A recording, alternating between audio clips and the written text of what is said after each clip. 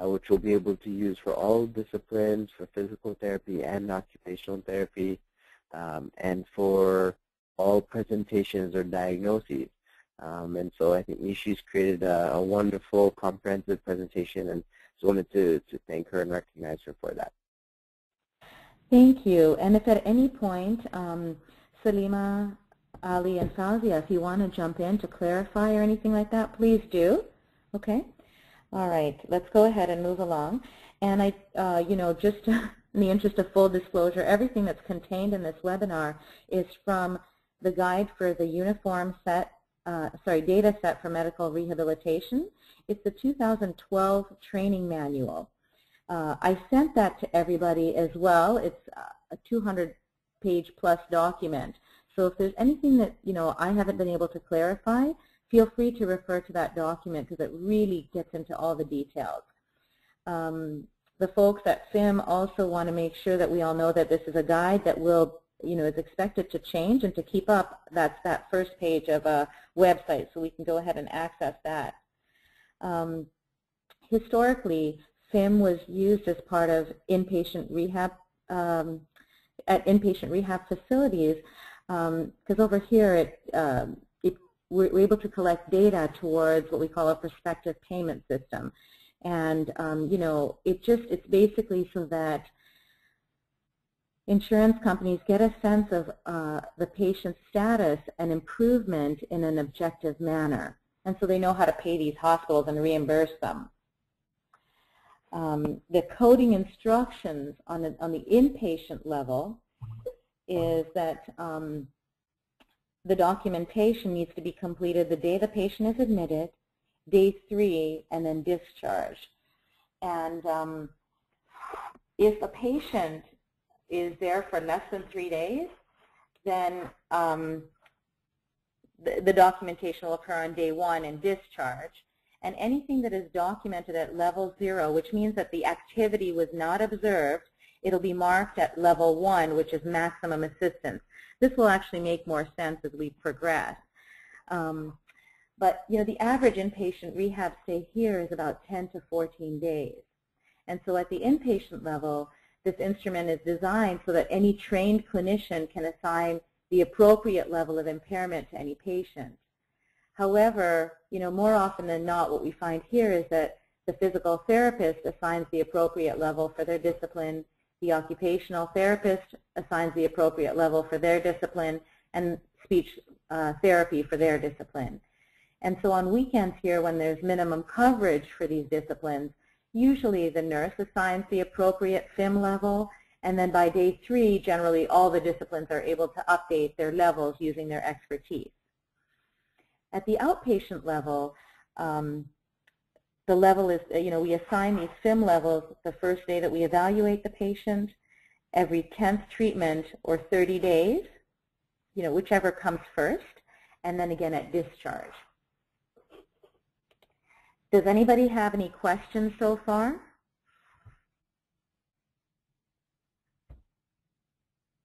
Okay, so I'm going to keep moving along then. So the disabilities that are covered in this FIM scale are stroke, uh, brain dysfunction, which includes anything that is uh, non-traumatic brain injury, open brain injury, or a closed head injury as well. Uh, neurological conditions, which includes multiple sclerosis, Parkinsonism, uh, any kind of polyneuropathy, Guillain-Barré syndrome, or cerebral palsy. And then spinal cord dysfunction, which includes paraplegia or quadriplegia patients. Uh, arthritis, which includes both rheumatoid as well as osteoarthritis. Uh, and then we'll go on to this next one. And then it also covers orthopedic disorders, which includes hip fractures, hip replacement, pelvic fractures, knee fractures, knee replacement, uh, as well as cardiac disorders, of course. And under pulmonary disorders, that includes COPD as well. Um, and then the rest of burns, congenital deform deformities, and then other disabling impairments. Multiple, major multiple trauma refers to brain and spinal cord, or brain and multiple fracture, or spinal cord and multiple fractures. So just more issues, and then uh, developmental disability as well. Next page. Debility, and then any kind of medically complex conditions, which really means the FIM scale really encompasses you know, almost any diagnoses. Um, and then in the manual, you can look under each of these sections for any kind of detailed diagnoses. Are we doing okay so far? Does anybody have anything to add or any questions? I think we are doing okay so far. Okay, wonderful. How about on the IHPA team? Anybody have anything to add? Everything is good. Okay, great. We'll just keep moving along. So the underlying principle for FIM is that it's a basic indicator of severity of disability and that really it's designed so that it can be administered really quickly and you know generate a great deal of data as well. Now what we notice and what we see of course with rehab is that as the severity of the disability changes during rehab, the data generated by the FIM instrument can be used to track these kind of changes and then as Ali mentioned, you know, it really, it's a really effective outcome measure. So a patient may come in, you know, and especially folks who've had strokes, and they'll come in and they'll change their locomotion status often from wheelchair to walking within 10 days of rehab. And so the scale allows us to track these changes and then, of course, is used objectively as an outcome measure. So the basic principles, again, is that there is a seven-level scale with, um, well, it's actually eight technically. Zero is more is used when the activity is not observed, or not sorry, is is not done. So you know, a lot of times when folks come in, we don't look at them on stairs right away. So that would be zero. But then one is that they need maximum assistance, and then seven is that they're independent. And so basically, the seven level scale designates the uh, difference in behavior from dependence, which is level one, to independence, level uh, seven. And the scale rates patients on their performance of an activity, you know, taking into account their need for assistance from another person or a device. And so then if help is needed, the scale quantifies that need. And the need for assistance, or, you know, we call it burden of care, what it, what it translates into is the time or energy that another person must expend to serve the dependent needs of this disabled individual um, so that they can have this uh, patient can achieve and maintain a certain quality of life. The key with this FIM scale, and it sounds really easy, but it can get really uh, confusing at times, is that we need to look at it from the patient's perspective and how much the patient is able to do. And that's how we assign uh, what, what scale they're on. Um, all right.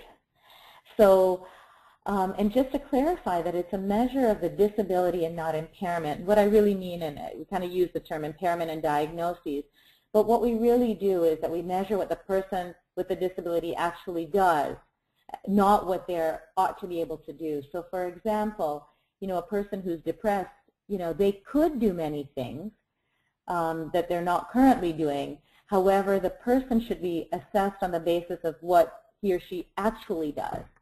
And so the other piece of this to remember as well is that if there's a difference in function that occurs in different environments or different times of the day, we need to record the lowest, the most dependent score.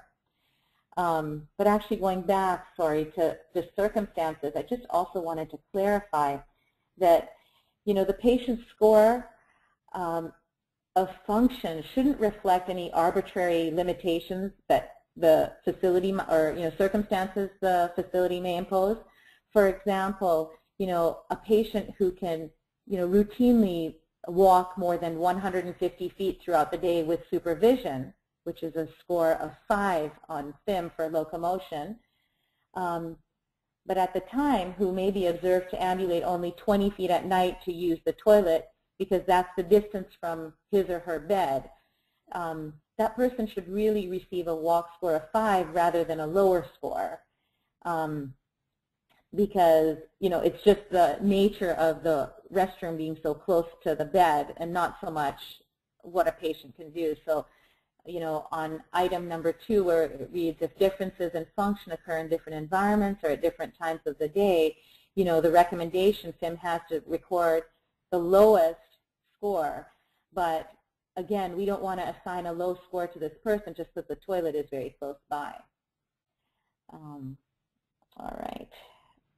And we're going to go ahead and move on to 11. Underlying principles, discipline. Sorry, yes? Yeah, Nancy, it's Salima, if I could interject. Absolutely. just to clarify, though, if if when the person is fatigued, they are a lower score, you're going to record the lower score, not really based on distance because that's all you observe, but you're going to you if, if during the day the person has different needs because of fatigue, because of their illness, sundowner syndrome, whatever it might be, you are going to take the lowest score, correct? Correct. Absolutely. Thank you. That's exactly right. Question? I used to, what, what, what you're saying basically is that uh, if you want to perform uh, the assessment and you go to the patient, the patient tells you that he's tired or is not feeling like, uh, you don't go ahead with the test or uh, you go ahead with the test and then you comment down that the patient was tired or was fatigued. That's correct. You do the assessment and score them where they are on that assessment. And then, you know, you'll see that many of these assessments will have a comments line and you can put the comment in, but they're definitely going to need a score because that's what they can do at that time. Correct. Okay, so if it's for the insurance purposes and uh, you, you present that report, would it, will it not affect the outcome of the, um, the, the whatever the assessment from insurance or the, the clinician so far? You know, the hope is that, um, that we'll be able to measure a change that over time as you work with the patient, however long they're in your program, that you'll be able to document that um, you know you work on endurance in improving endurance. So perhaps the first day they can walk 20 feet, even if it's fatigue or whatever for whatever reason. But then as you work with them, let's just say when you take this assessment on day three, that you know hopefully they'll have increased their endurance and they can move up in the scale. Does that make sense? Does anybody in PT, Fauzi or Ali Salima want to add anything? No, I, I Which is think a that bit makes you know.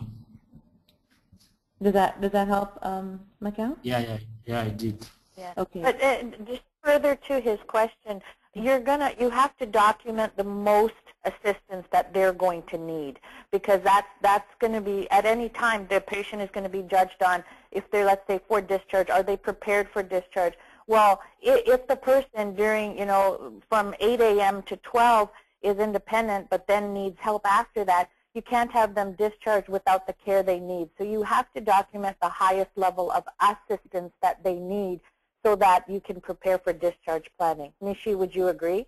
Agree, yes. And actually, you know, uh, caregivers have a better idea too because they'll know that, okay, for example, you know, this person can only walk 20 feet or they can walk 150 feet, but, oh, they need me to help, uh, you know, with steadying assistance. Thank you. Yeah. Hello, Nishi. Yes?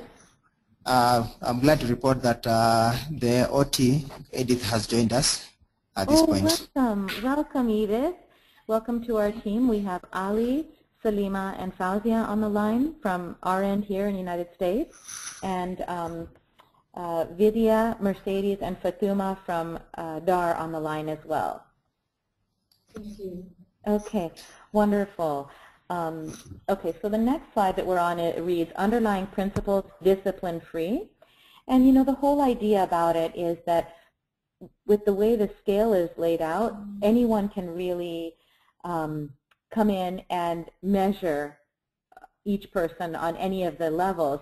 However, you know, in my experience in the hospitals here and even in outpatient settings especially, is that each discipline really manages their own um, assessments, you know, and give scores. So for example, as a speech therapist, I don't give a score for PT areas in general because I know that we've got a physical therapist on staff that'll do that.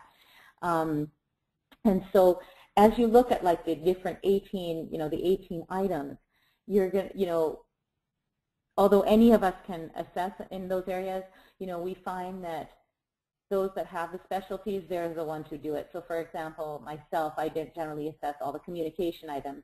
A nurse who is more knowledgeable with respect to bowel and bladder management will assess those areas. a physical therapist who has the expertise to evaluate transfers will do that, and an occupational therapist who scores self-care. And, you know, between occupational therapy and speech therapy, we take care of the cognition items as well. All right. So to be categorized at any given level, the patient must complete either all of the tests included in the definition or only one of several tests. This is going to actually make more sense as we actually talk about case studies. But the key here is really take a look at the definitions. And what we really want to take a look at is, is our patient able to perform these activities with a reasonable amount of safety? You know, and just to review with the scale, um, one is that they need maximum assistance.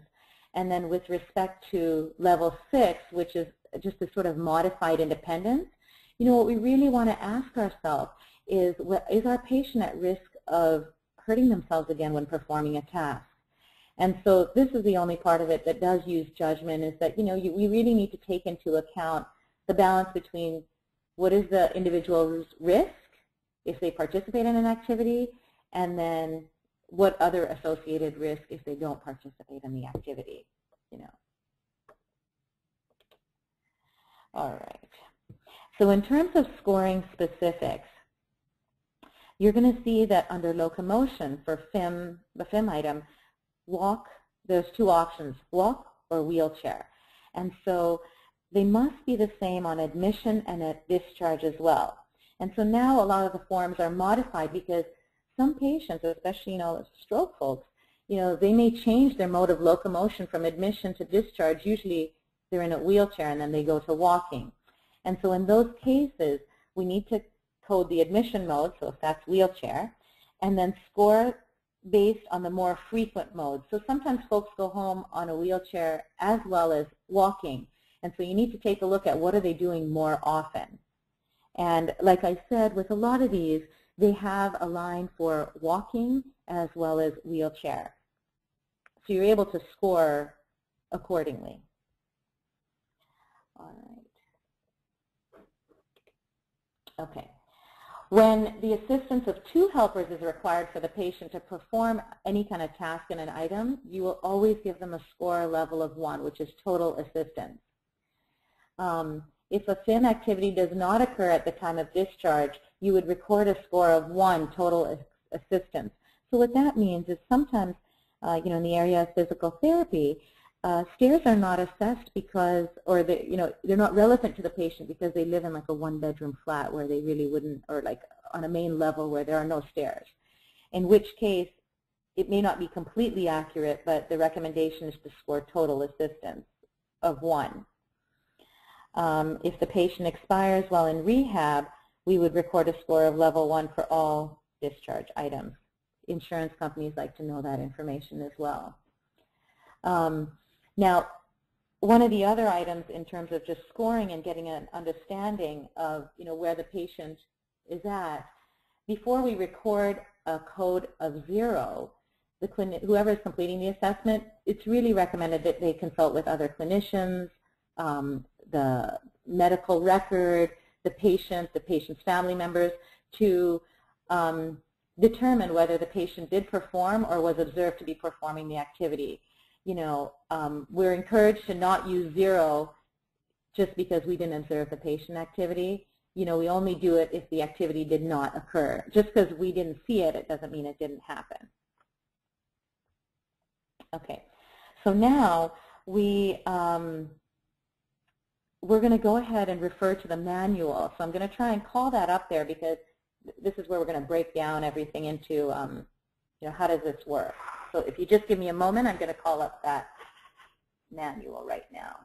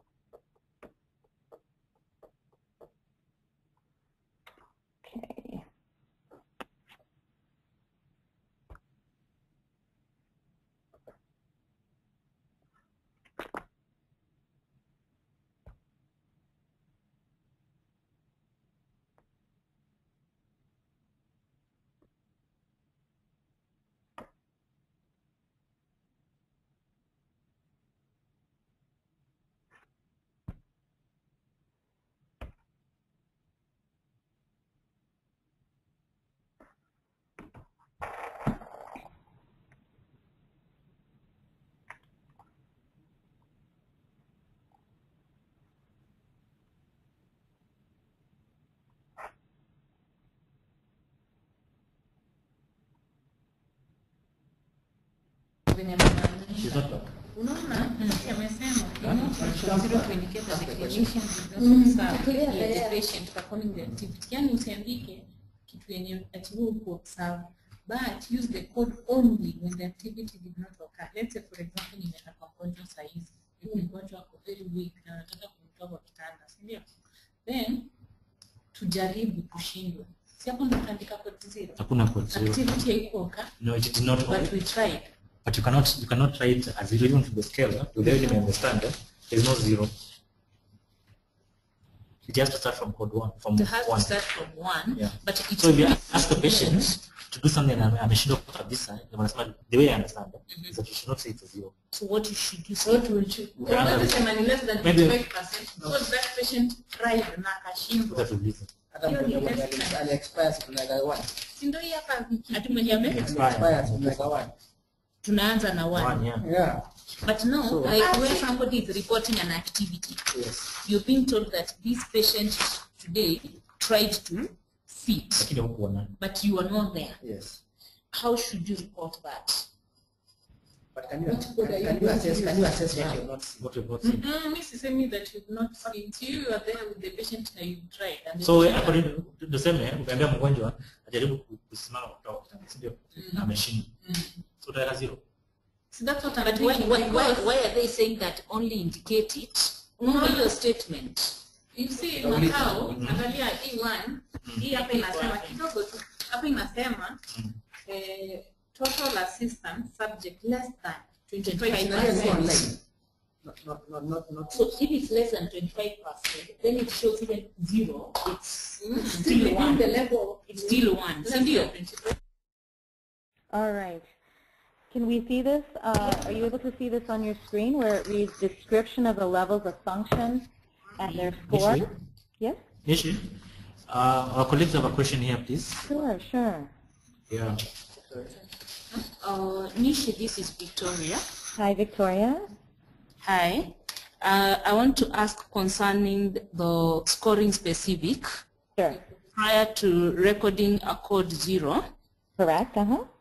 I needed some clarification on that in the event that you try like to stand a patient and the patient can't be able to stand. Okay. In the, in the statement here it's saying that you only use the code when the activity did not occur. Right. But according to the assessment scale, I can see that less than 25, so even if it's zero, you just call it one. So when do you actually use that code zero? Um, so my understanding of this is that um, if you attempt to do the activity, you know, uh, you just mentioned that you would help them stand up, then it would be a one. Um, uh, but if you don't even make that attempt, or then it, you would code it as a zero, just for that initial one. Does that make sense? But you have tried to lift the, or you know, get the patient to stand up, and they're, you know, they they need all your help. Then it would be scored as a one. But if you did not even get the patient to stand up, then that would be when it would be a zero. Okay. Thank you. Okay, does that help? So right now on your screen, are you able to see description of the levels of function and their scores? That's zero. Ukimsaidia, hiyo one. Yes, we are seeing Yes, we are. Yes. Okay, wonderful. So this is going to get into a little bit more of the, the meat of the matter here. So independent is when the person can do, can do the activity by themselves, there's no helper. Okay? Complete independence is that the patient safely performs all of the tasks described as making up the activity within a reasonable amount of time and that they can do it without any assistive devices or aids. So, you know, this refers to they don't need a walker, they don't need a, um, a cane uh, for a reach, they don't need a reacher, they don't need any, any kind of other assistive equipment. Modified independence is that they're able to do the activity independently, but they need a little bit of help or they need a device. So one or more of the following may be true. The activity requires an assistive device or aid, so that could be, again, a walker, a cane, or the more than reasonable time, or the activity involves safety risk or consideration. So if it takes somebody a longer time than you would expect to go from sitting to standing and they need the assistance of a, a walker to do it, then you would score them a 6. Um, and then the next level is dependent, which is the person requires another person to either supervise or they require physical assistance to perform the activity where it's not performed. Um, so even within this section, there are three levels. So if the patient, and again, it's from the perspective of what the patient can do. So if they can do 50% or more of the effort, then the below is, you know, below is the assistance required. So for level five, they would just need somebody to just help them set up, whether it's cueing to be able to say, oh, you know, don't forget to lock your wheelchair and put your hands on the armrest before you stand up, or, but there's no actual physical contact. Everything can be done without um, you actually touching the patient. So for occupational therapy, you know, when it comes to eating, it would be maybe even just help opening up containers. But they can eat by themselves, but they just need someone to help, you know, set up their tray. Um, and then minimal assistance is that the patient does at least 75% or more of the effort, and they don't need any more help rather than, you know, except for touching. And then moderate is that the patient requires more help and that the patient's able to do 50 to 74%. In the event that they can't, that's when you move into kind of the more complete dependence area, where the patient can only do less than 50% of the work. And so maximum assistance is that they can do 25 to 49% of the effort, and total assistance is that the patient expends less than 25% of the effort. I'm going to go on to the next page because this is the decision tree. And this is the general decision tree. And then actually there's even more trees for the next, oh, about 50 pages for each specific FIM scoring area. Are we doing okay so far? Yes. Yes. Okay, so let's go on and we're on the page that reads instructions for the use of the FIM decision trees.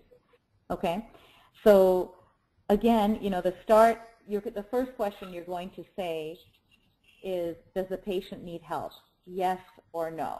And if the answer is no, then your question then you ask yourself is, does the patient need more than enough, you know, reasonable time, or is there a device, or is there a safety concern? And then you would score, and if it's the answer is no, they're fine, then they're, the score is 7. And if the answer is yes, then they would be scored as a modified independent person. So this would, like I said, be, you know, would need, do they need a cane? Do they need any device? Now, if you ask yourself, does the patient need help, and the question is yes, then you know that you need a helper. That, you know, really determines also just your plan of care as well for discharge. You know, is this person going to need supervision at home? And so, again, the tree goes to, you know, your question is, does the patient do half or more? And so then if it's yes, they do half or more, then you need to be able to look at the patient and say, okay, can I just talk this patient through it? Or if I open up some containers or if I give them you know, some modified utensils, are they able to do what they need to do? And if the answer is yes, where they just need somebody watching them, your score would be 5. If the answer is no, then you need to kind of take a look at what kind of assistance do they need. Is it about 50%? And then you would score them you know, uh, sorry, if it's 75%, then it would be more of a 50 to 75%, sorry, it would be a more moderate assistance.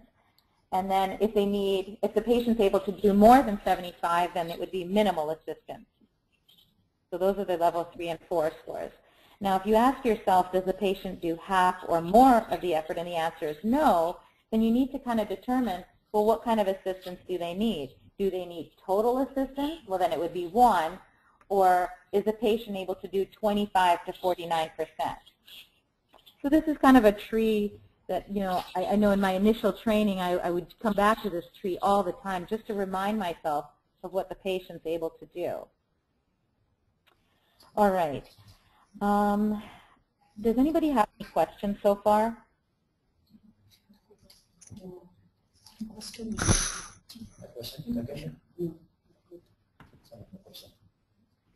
No question.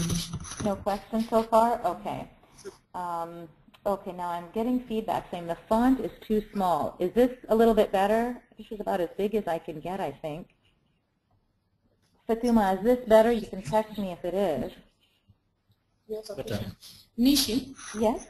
Irene has a question. Sure. Um, I have a question. Yes, I When you when you are transferring a paraplegic patient Yeah. from a from a bed to a chair, Yeah. and then you when he helps with the both hands, eh, Mm-hmm. which level is that? What what level can you put that? Okay, um, you know, Faz, Ali, or Salima, would you be able to help with that question? Pardon? I, I'm just uh, asking physical therapists on the team what their thoughts are. Sorry, could, could you repeat?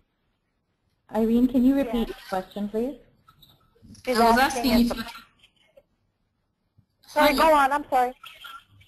Um, I was asking if you are transferring a paraplegic patient eh, and the patient has power, muscle power grade 5 or 4 on the upper limbs, uh, moving the patient from the bed to a chair, what level is that? Can you put it as moderate assistance or So, um, the, so the answer is, is um, defined by how much body weight you're actually lifting, huh? Right? So of how much effort that patient is able to give. So even if, for example, some patients are able to use their upper extremity strength to to raise themselves up, and and um, you know if the bars are at a proper height, then they might be able to hold themselves up in the air um, for for the transfer. But in this case, it depends upon actually how much strength and how much effort those uh, upper extremities are able to give to that patient. So you would you would uh, define the answer based on how much percentage of body weight uh, you're actually lifting, or the patient's actually lifting. Ah, okay. So Adi, I also have a question on that uh, aspect. huh? Mhm. Our objective is uh, the percentage because if I'm assisting a patient, the, my perception of uh, 50% might be different from Irene's perception of 50%. So if I'm scoring that patient, uh, do I just put what I have or is there another uh, standardized scale whereby you're able to, if I say it's 50%, then the, the fellow therapist who comes also assumes or finds it as 50% Mm-hmm. It- as yeah, a level of assistance. And uh, so, you know, Mr. McLeod, this is actually the number one question about the functional independence measure, is how do we standardize, uh, you know, the, the numbers between therapists? And in this case, um, you know, it requires a bit of practice because you might have a patient who's 100 pounds versus a patient who's 150 pounds, or you know, uh, 40 kilos versus 80 kilos.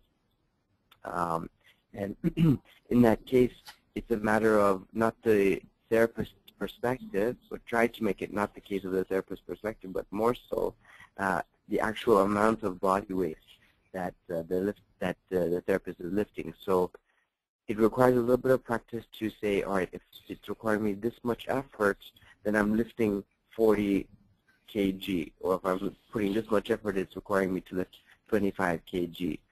Um, and so that's where a little bit of practice comes in to try and standardize it. Would, would the rest of the team agree? Agree. And you know, initially when we're assigning these levels, I really recommend if you can just pull in a colleague real quick and just say, you know, I, I um, you know, I would score this patient as moderate assistance. What do you think? Okay. Yeah. If you're able to I, do I don't know what the rest of the team thinks, but when you're doing this, if you start to think about, as you're planning for this patient, what, what information am I going to have to give about that person's continued care? So if you're thinking about perhaps a gentleman who had a stroke who needs to go home with his wife or something, and you're trying to say, how much assistance? So as therapists, yeah, we get caught up. You're probably a lot stronger than that wife. So, you know, it could get convoluted that way. But you have to think if I'm scoring them on these, what kind of assistance am I going to put for this wife before they go home? So you want to also think along those lines in terms of the assistance. And if you think from that perspective, I think the numbers get a little easier when you're saying minimal, moderate, you know, what, what you're looking for somebody else to be able to provide for that person. Does that make sense? Yes. Okay. Wonderful. Anybody else have any other questions? Okay, sorry, I know that it seems like I'm scrolling this very quickly, but I'm trying to go to sections that are relevant for us. And so let's go ahead and um, uh, just keep moving along. And I'm going to maybe go towards uh, eating and toileting and some of, or sorry, um, I'm just going to keep moving along here. Give me just a minute.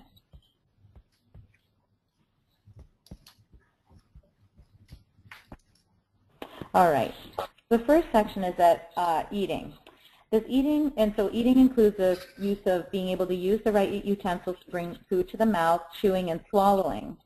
And at level seven, the patient can eat from a dish while managing all consistencies of food and drinks from a cup or a glass with the meal presented you know, in a customary manner on a table or tray. So the question you're going to ask yourself is, does the patient need help when eating meals or administering this refers to if they have like a, a G-tube or a, you know, a PEG. Um, are they able to, if they are not eating by mouth, are they able to hook up their own uh, feeding tube to you know, the food, the liquid food? And so if the answer is they do not need help, then you want to, the question you ask yourself is, do they need an assistive device to eat? Um, and so that could refer to, for occupational therapy, you know, do they need weighted utensils to eat? You know, um, does he or she take more than the reasonable amount of time to eat? Is there a safety concern? You know, do they need a modified food consistency? Um, or are they able to, you know, administer their tube feeds? And if it's that they're fine, then the score is seven and they're independent. And if they need some of these utensils or some kind of setup help, then um, actually it's not setup help, I'm sorry. If they need um, uh, modified food consistency, then it would be a score of 6. Now, in the event that they don't need help, sorry, if they do need help with eating meals, then the question again is, does the patient perform half or more of the eating tasks? And if the answer is yes, then it's the whole idea behind do they just need setup assistance? Do they need cueing to remind them to slow down when they're eating? Do they need help with just opening containers or just pouring liquids or spreading butter? And if the answer is yes, then they would have a score of 5. And if it's no, that they, they need more than just somebody watching them, then you know, you ask yourself, does a patient need help, such as putting utensils in their hands or helping them scoop the food onto their fork or spoon? And if they just need incidental help, you know, um, if they're able to do it 75% or more of the time, then it would be minimal assistance. If they need help, if they're able to do it 50 to 74% of the time, then that's moderate assistance. And then the next, and then let's just say they're not able to perform more than half of the eating tasks, then you want to take a look at do they need, are they able to do 25 to 49%, or do they need a hundred, you know, help less than 24, sorry, if they, the patient is able to do less than 25%, then they need total assistance. So far, so good? Yep. Yes. All right, so for grooming, and this is where, you know, the FIM scale is really... Very, sorry, uh, yeah, Nishi, if I yeah, can yeah. just check Yes, please. Uh -huh. here. Uh, so for Mr. Macau's question, the fact that there are ranges here, that uh, improves the the inter-rater reliability a little bit and the intra-rater um, uh, reliability. Uh, because you have that range, that means that let's say if there's a 10 kg difference between one person versus another, uh, then they usually will fall within that same range. And so that's why uh, this is you know, considered the world standard in, um, in this uh, type of objective outcome measure. Is that fair? Could you come up again, please? Oh, sure. Uh, so what I'm saying is, because each of these scores, each of these numbers is a range, uh, that improves the reliability of the measure. So, for example, let's say uh, Macau and Ali are both lifting um, uh, Nishi, and uh, you know we, we get about a, a 5 kg difference from when Macau lifts Nishi and Ali lifts Nishi. Uh, however, we'll both probably be able to place her within the same category or same range, let's say like 25 to 49 percent of her body weight, um, because that 5 kg difference will not make that much of a difference as far as changing the actual score. Do you know what I mean? Yes. Yeah, makes sense. And so in that way, that's what I'm saying, it, it improves the reliability of the measure so that we'll probably end up with the same score even if, for example, you have uh, somebody who, a therapist who, for example, is much lighter and more petite than a much larger therapist. Um, you might have a larger discrepancy in the actual amount of weight lifted by that therapist. However, the, the score is a range, and so that range is large enough to to improve the reliability. Yeah, makes sense. Yeah, that makes sense now. Okay. So what we'll do now is we will just choose maybe one more OT area and then get into some of the physical therapy areas. Um, so let's go ahead and talk about grooming. Grooming includes oral care, hair grooming, so either combing or brushing their hair, washing the hands, washing the face, and either shaving the face or applying makeup. If the subject neither shaves nor applies makeup, then grooming only includes the first four tasks. Um, and the patient performs the activity safely, and the item includes obtaining any kind of articles that you need for grooming. So actually, I think it's best now to go to the decision tree and work our way through this instead of, you know, breaking it down at the head. So if the patient needs help when brushing their teeth or combing their hair, washing their hands, shaving their face, and either shaving or applying, sorry, washing face and either shaving or applying makeup, if the answer is they do not need help, then you need to take a look at do they need any assistive devices like an adapted comb, or do they take a long time? And if they're able to do things in an efficient manner within reasonable time, then it would be seven and they're completely independent. If it takes them a longer time, or they need some kind of adaptation for grooming, then the score would be modified independence. They're able to do it on their own, they just need more time or they need a device. Now, in the event that they do need help brushing their teeth, combing their hair, um, and brushing their uh, hair as well, or washing their hands, washing the face, or shaving, or applying makeup, then you'd go into the helper section and decide, does the patient perform half or more of these tasks? Or, and then if the answer is yes, then you want to take a look at, do they just need supervision? So do, do they just need to have their toothbrush, toothpaste, and their razor set out for them, and then they can do it on their own?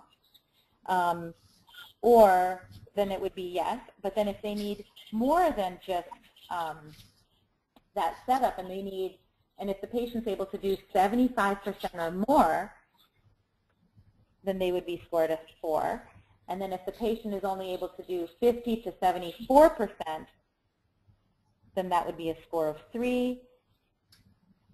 And so that'll let you know for, you know, for moderate or minimal assistance. And then if the answer to your question is that the patient performs less than 50%, then you need to decide, you know, are they able to do 25 to 49%? Then you would give them a 2. But if they're able to only do 25% of that, then you would give them a score of 1. So far, so good? Yes. All right. Let's go ahead and move our way over to um, a couple of physical therapy tasks. And then um, I'm hoping we can squeeze in at least one case study before the end of our session. So far, anybody have anything to add from our IHPA team or anybody have any questions on the other end?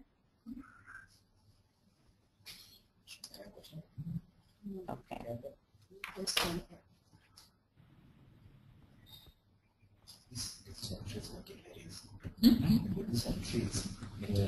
Easy. All right. So let's go ahead. We're at page 71, and it's titled Transfers Bed, Chair, or Wheelchair. So this includes all aspects of transferring from a bed to a chair and back, or from a bed to a wheelchair and back, or coming to a standing position if walking is the typical mode of locomotion. All right? And let's go ahead and go to the decision tree over here. So um, at level 7, as the uh, subject approaches, sits down, and gets up to a standing position from a regular chair, transfers from bed to chair. Um, if they perform it independently and safely, then that would be a 7. If the patient is in a wheelchair and approaches the bed or chair, is able to lock the brakes, lift the footrest and you know remove the armrest if needed, and is able to perform either a standing pivot or sliding transfer without a board, uh, then that, that would also be um, a level seven if they're independent and safely, if they're doing it independent and safety, safely, yeah. Sorry. So if the activity doesn't occur, then on you know admission it would be a zero uh, and a one on discharge. Pardon me, I just have a question here. Um, uh, Vidya needs clarification on percentage division. I'm just going to ask her to um, to clarify that.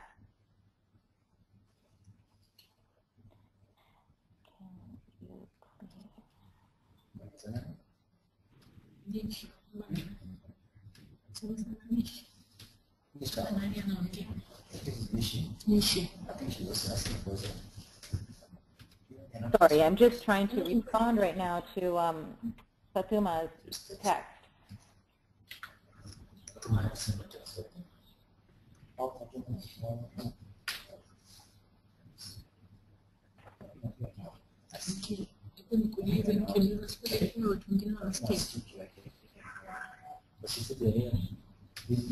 directly in percentage division.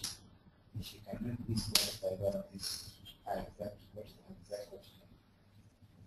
question. The question is? Is the one chosen person.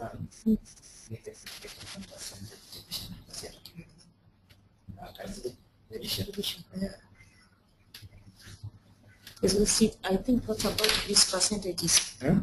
the percentage division, what Misha was saying, if the patient, you find that the patient is scoring between 50 to 74, then you classify that one as moderate. Yeah, this. Hmm? She missed because she has explained that. Similarly, amesema hata might be different. Mm. Oh, the winner. I think you had a discussion on the percentage. Okay. So Fatuma, um, I hope this is helpful for you and Vidya. So in terms of just a quick review of um, the percentage effort put in by the patient, uh, if the patient is independent and no helper is needed, then they would be seven or six. And then in terms of the exact percentage breakdown at the dependent levels, a five would be um, if the person just needs supervision or setup help. Minimal assistance is that the patient does 75% or more of the effort. Moderate assistance is that the patient expends between 50 and 74. And then maximum is that the patient expends between 25 and 49%. And then total assistance is that the patient only expends less than 25%. Um, this is on page 47. I'm just going to type that in there because you know it's a really good question, and all these numbers can you know kind of get all mixed up at times. Um, does that answer your question, Fatuma?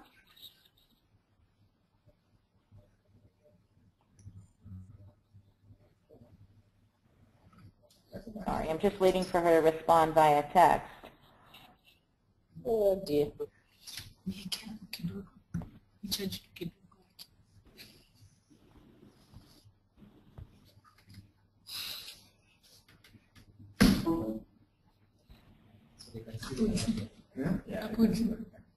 How come they can't share my one nini ya one? They always have issues za Dar. Wasema issues. lazima tume text lazima lazima respond kwa text Tunatumia tunatumia WhatsApp. hiyo simu yangu inakwambia nini Sitaje. ina Ni umeweka. You Okay, so the question is, how do we judge 50 or 75 F percent effort for a given task? Ali, Salima, or Faudia, could you respond to this one? find out on the story? ati how do you How do you Salima, you want to take this one, or Razia? Fauz? But that one I just explained. Shida hapo naona kuna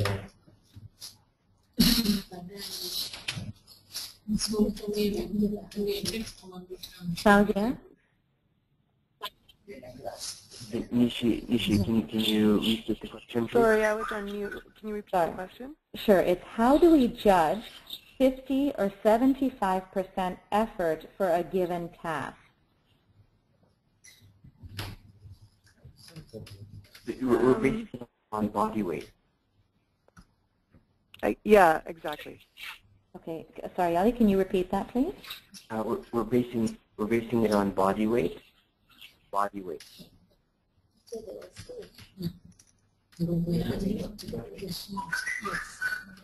Okay, sorry. Yeah. Is it just the therapist's judgment, or is there a set criteria for it? No, There's, there's a set criteria. So you want to take the patient's weight um, and then determine how much of that body weight is actually being lifted by the patient, right? And, and that determines your level of effort. So, so 100% effort is 100% of the patient's body weight being lifted, and then you go down based on the percentages thereafter.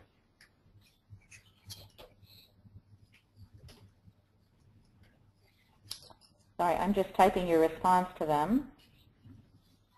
I think you're okay, Nishi, because they can hear you. Oh, all right. It's just okay. you can hear them. Yeah. Right, okay. Okay. Okay, so I got, I got it. Okay, let's go ahead and go to transfers. All right, and so, um, gosh, where were we? Okay, I think we talked about, um, we were at the helper stage. So does the patient perform half or more of the effort for wheelchair transfer? And then if the answer is yes, then you need to decide, do they just need supervision, at which point it would be five, or do they need what we call contact, or I guess what you call contact guard assistance or steadying? And if that's all they need, this assistance where the patient does 75% or more of the work, then it would be four. And then if the patient does 50 to 75, 74% of the effort, then that's moderate assistance. In the event that the patient does not perform half or more of the effort for bed, chair, or wheelchair transfers, then you need to decide, does the patient require total assistance for the bed, chair, wheelchair, such as like the helper doing the lifting or using a mechanical lift? And if the answer is no, if the patient does 25 to 49%, then that's maximum assistance. And then if the patient does 25% or less of the effort, then that's total assistance. All right, does that make sense? Shall we move along? Yes. Okay. Yes. Okay, wonderful. Okay, let's go ahead and maybe what we can do is we can do one more PT item. And then let's maybe, you know, go ahead and go to a case study if we can. Let's go ahead and do locomotion. Okay, so there's two sections to this. There's a walk section and then a wheelchair section. And walk includes walking on a level surface once in standing position, and the patient performs the activity safely. All right, so it's either do they do it with no helper, which is complete independence. They can walk a minimum of 150 feet or 50 meters without assistive devices, and they're safe. That would be scored a 7.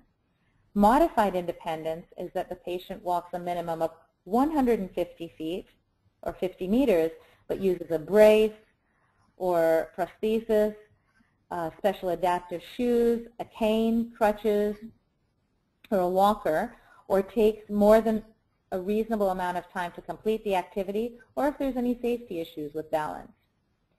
Five um, is, you know, refers to uh, if the patient can only walk short distances of 50 to 15, me- fif- sorry, 50 feet to 15 meters independently with or without a device.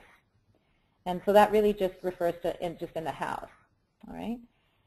Um, so uh, you would score a patient level 5 if they need supervision, which is they just need someone standing beside them. They're not touching them. They're just standing beside, uh, cueing them, or you know, just kind of encouraging them to go at least 150 feet. Minimal is that the patient can do 75% or more of the walking effort. Um, moderate assistance is that they are able to do 50 to 74% to go 150 feet. Maximum is that they're able to, um, the patient performs 25 to 49% of walking effort to go a minimum of 50 feet and then requires one person to help them. Total assistance is that the patient performs less than 25% of effort or requires two people or walks less than 50 feet or 15 meters. Um, and then zero, of course, is if the activity doesn't uh, doesn't um, occur. Um, and so for locomotion, there's actually two identifiers. One is, of course, walk or wheel and walk, and the other one is wheelchair. And so again, they need to be the same on admission and discharge. And most of these forms will have a little W for, you know, walk, um, or they'll do like a WC for wheelchair, where you can, you know, um, you can put down where they are at which level. Um, and so if we go ahead and look at page 80, there's the uh, decision tree on that as well. And I'll just have you take a look at it for a moment while I go ahead and I, you know, I think that we can go ahead and load up a case study. What do you think? Yes. Sure, sure. Yes. Okay, so I'll have you go ahead and look at that right now. And in case the screen um, goes blank for some reason, we're looking at page 80 of 169. Eight. Eight. Yeah. One sixteen. Eight, eight. Okay. And I was seventy-five percent. I know, we don't have this. Shaking. Now you see fifteen.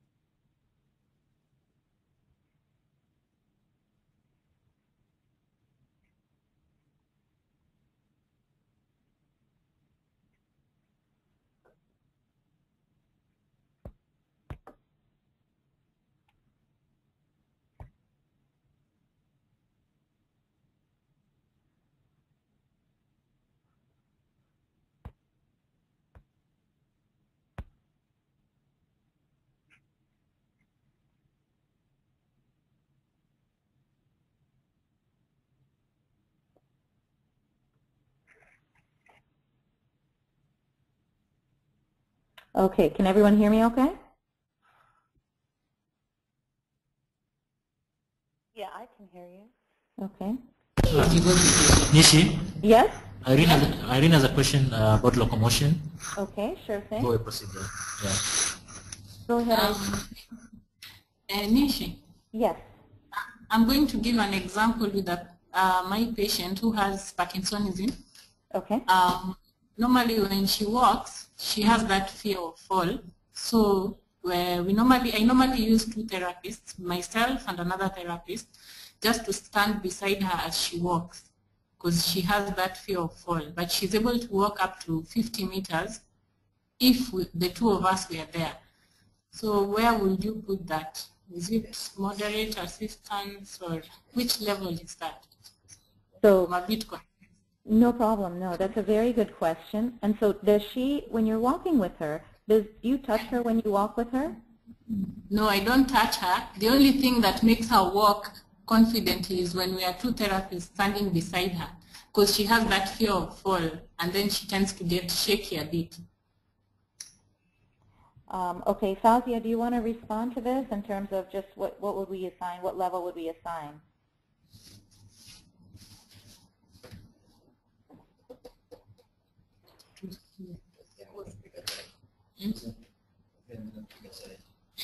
Lima, are you there too? I'm just going to defer this to our PTs. Yes?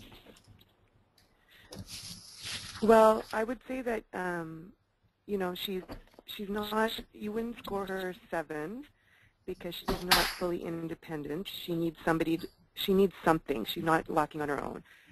Um, I, if you were going to go down the list, you'd go to six and say six is, you know, she needs some sort of aid or some sort of, um, you know, uh, is she wearing a special shoe or something like that.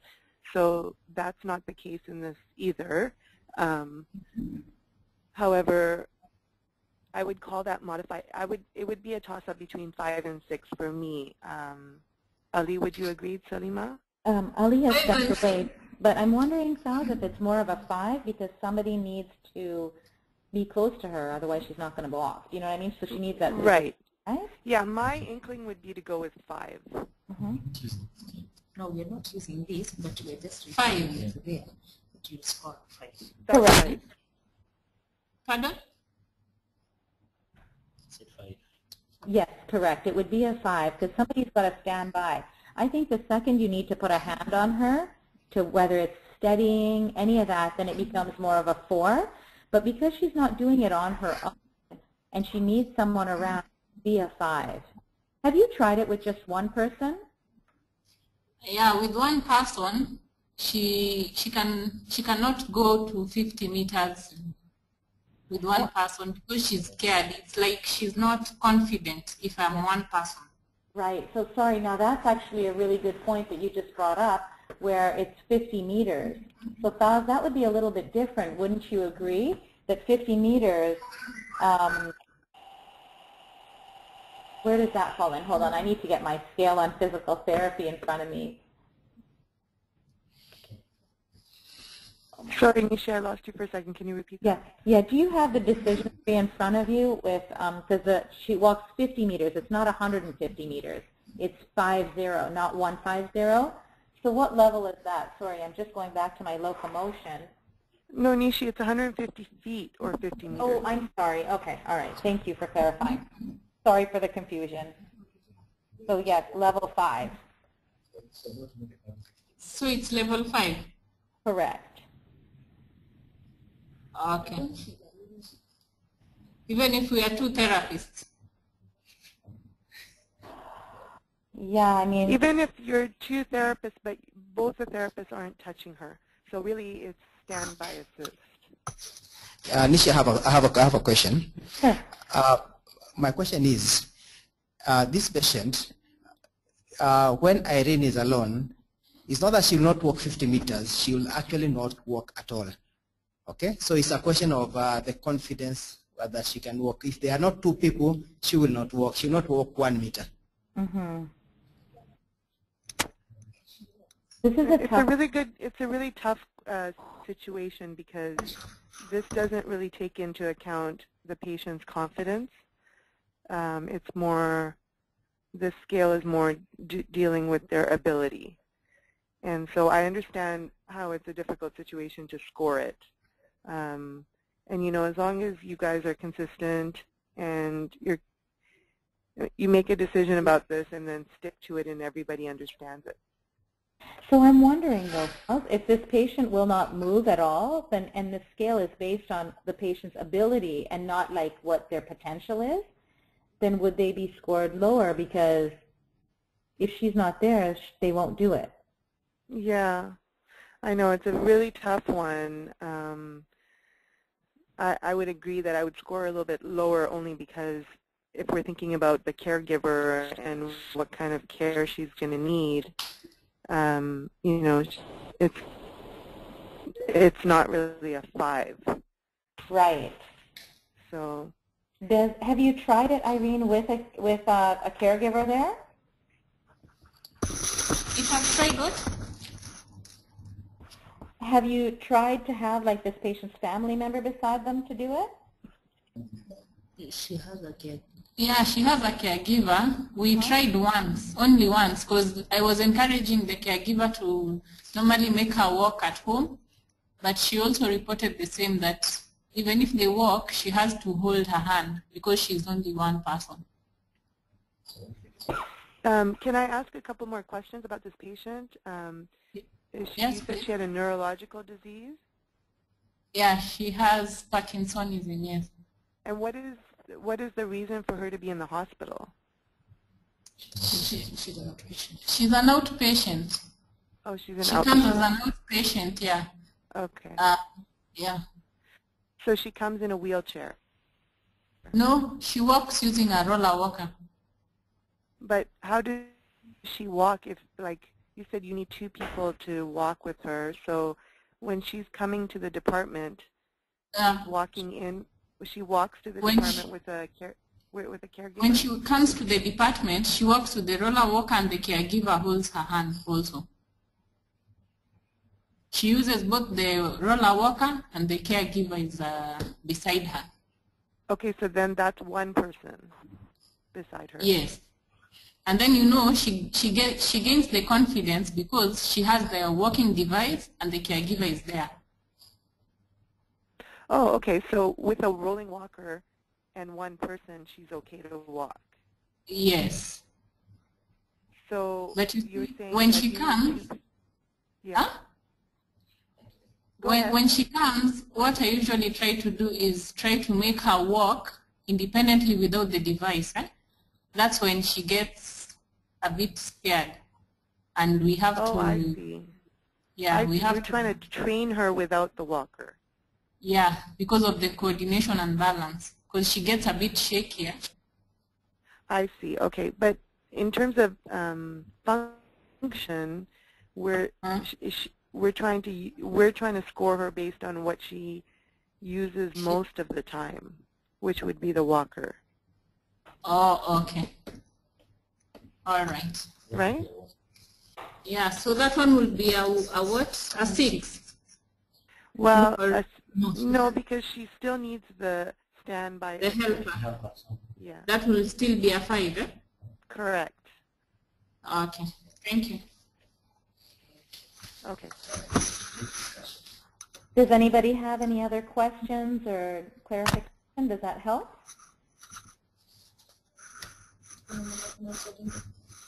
No.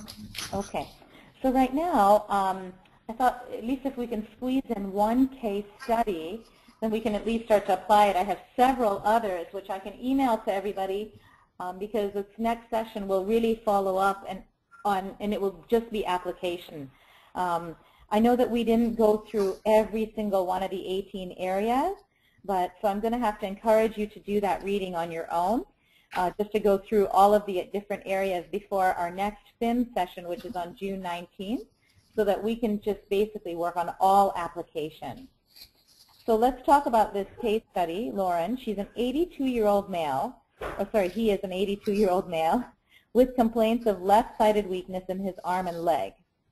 Workup, including a CT scan and MRI, confirmed evidence of a right middle cerebral artery ischemic uh, CVA. The patient was placed on Coumadin with a cardiac workup. Echocardiogram revealed a less than 20% ejection fraction. Uh, a video fluoroscopic swallow study was completed, which showed mild difficulty in the oral and pharyngeal stages of swallow with trace aspiration. Past medical history is significant for a left total hip replacement in 1994 and degenerative joint disease. Prior to admission, Lauren lived with his family in a split-level apartment. He does not drive, relying instead on friends and family to assist with transportation and shopping. He enjoys playing cards and going to the movies and restaurants with friends. The discharge plan is to return home with his wife. Lauren is admitted to the rehab unit on a Friday afternoon at 6, and his functional assessment during the first three days on the inpatient rehab unit is as follows. So I think the thing to do right now is let's just discuss the areas that we've already talked about, and because we've you know kind of gotten into details with them, and then assign the different levels of where he is. So we talked about eating. Lauren is on a puree diet. He requires extra time to complete his meals. During breakfast and lunch, a helper cues Lauren to follow swallow precautions. However, in the evening, Lauren pockets food. The helper checks his mouth for pocketing of food on the left side and removes the food. So I know our OT has left, but what would you say the level is the FIM level for this patient on a scale of you know zero to seven, what would you rate this patient? Anyone have any ideas?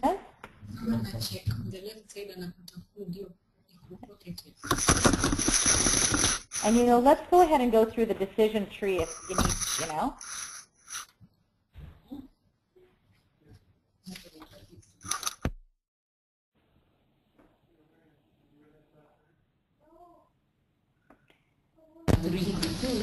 Anyone have any ideas of what level the patient would be on? Hello. Yes, Hello. Uh, this patient uh, requires, uh, in my opinion, yes, um, requires supervision because uh, the patient is able to eat, yes, but uh, if he's not supervised, he pockets the food right. and uh, requires assistance to, to, to remove the food. So I'll give that patient a five. So five would be that they. Oh, sorry, sorry, sorry. Yes. Okay, uh, three, sorry. So, I'm, I'm being heckled here. yeah, no, no, no, that's okay. So the difference between, I think I, think I have a different opinion from mine now. okay, Uh, Okay, I think the patient is actually, from my point of view, I think we will, I'll give the patient a minimal assistance because the patient is able to chew and Yeah. um, only needs assistance, Mhm. swallow, sorry, only needs assistance on the food pockets on the left side. So the, the, the help actually just assists uh, to get the food out of the, of the cheek. Right, So I think a level, uh, minimal assistance would be better. correct. Because it's not, the patient, you know, is able to do 75% of the work, it's just the pocketing, right? Yeah. Okay, very good. Okay, let's go ahead and go to, um, I'm just going to go down to another one that we've talked about, which is transfers bed to chair. Okay, so Lauren did not transfer out of bed on day one. Over the next two days, Lauren rolled on his left side, sat up, scooted forward, and transferred from a bed to a wheelchair with moderate lifting assistance from a helper. When transferring back to bed, Lauren requires maximal assistance, especially in the evening when he is tired and fatigued. So what level would you give him for this transfer from bed to wheelchair? Or sorry, you know, from bed, chair, wheelchair. What level would you give him?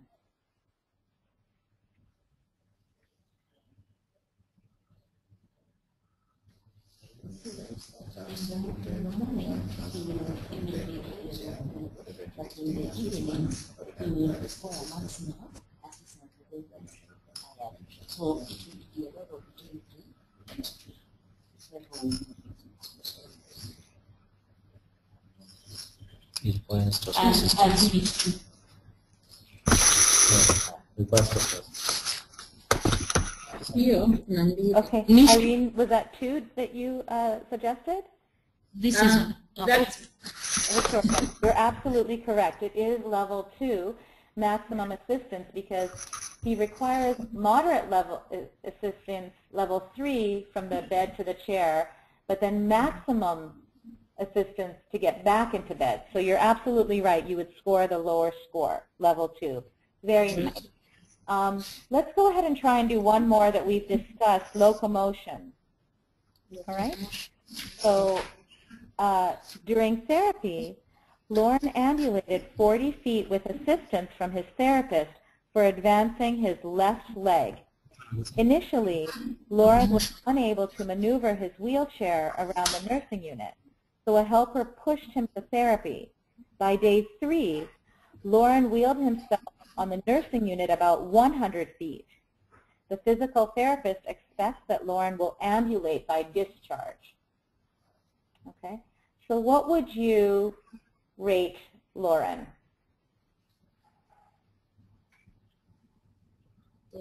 You know, and a hint is that, you know, the physical therapist expects Lauren to walk by discharge. So what would you rate him currently? currently. Moderator assistant.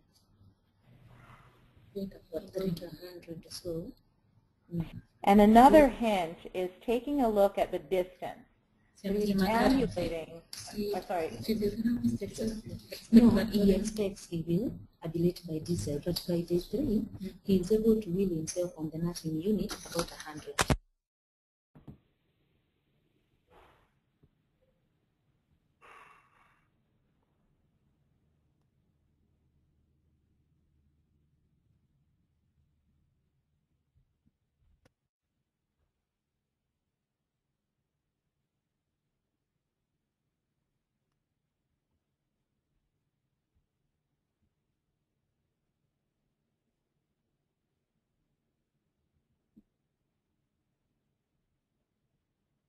Okay, anyone have any ideas? Probably a three. I was thinking probably a three. Okay, so here's the hint. Um, the hint is that he is um, walking less than 50 feet. So what would he be right now? It's less than 50 feet. So if you make your way down the decision tree, He's limited 40 feet with assistance from his therapist. zenye Si zilikuwa ndizo zenye? zenye- You, you know the thing is because now we don't have that a chart to refer to. Yeah. Nishi, we are having a challenge because we don't have that chart to refer to. oh, all right. So let me put that chart up. Hold on, just give me a Yes. okay? Yes, so Yeah. let me do that. less than 50 feet basi pale itakuwa four. I think you'll ka four. Let's see. Let's see how the chart will be. Because now we are Because less than 50 feet. Huh? Eh? Not two. Mm-mm. Ati two? Hapana. It can't be. It can't be Because two.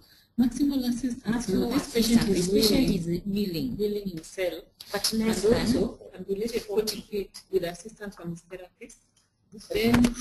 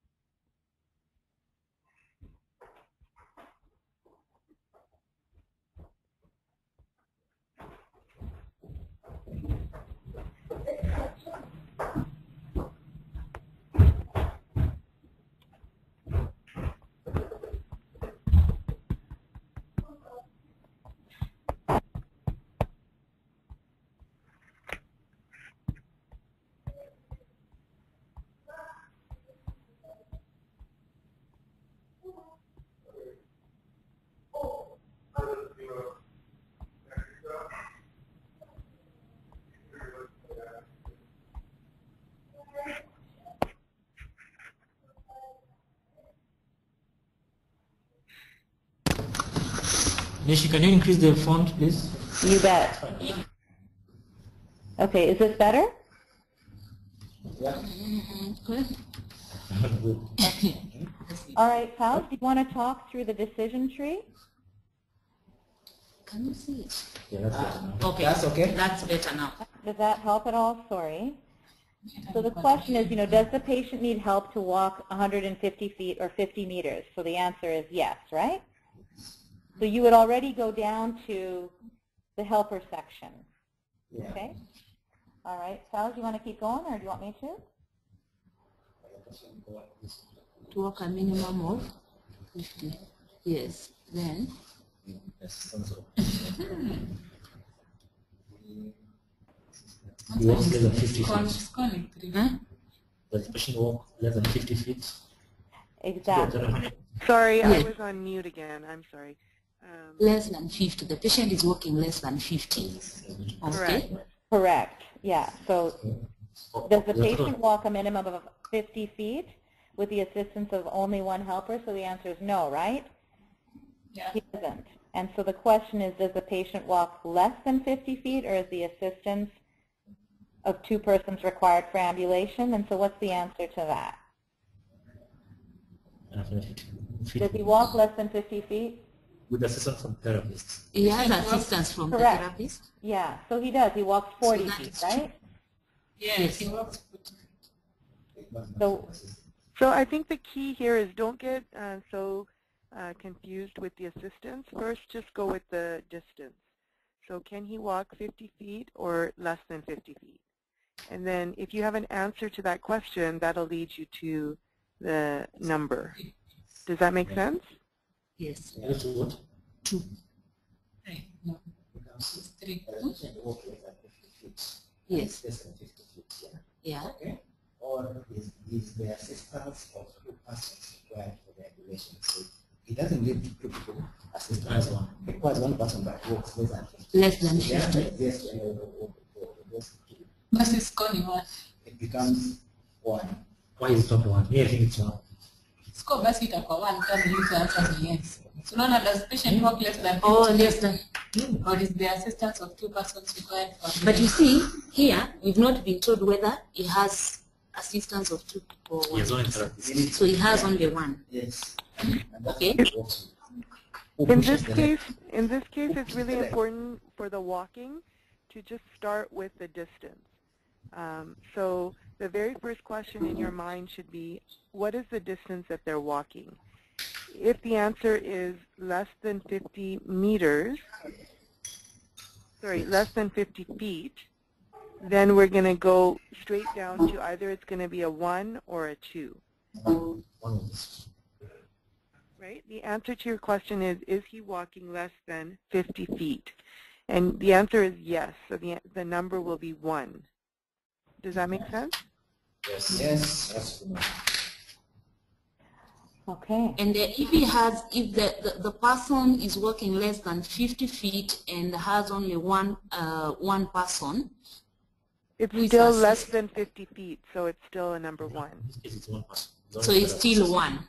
Yeah, it's still 1. It, don't get confused with the number of persons.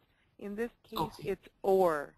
So let's Okay. say they were walking more than 50 feet, but they had two people assisting them, then that score would also be 1. But in this case, in this case study, they're walking less than 50 feet, so it's a 1 automatically.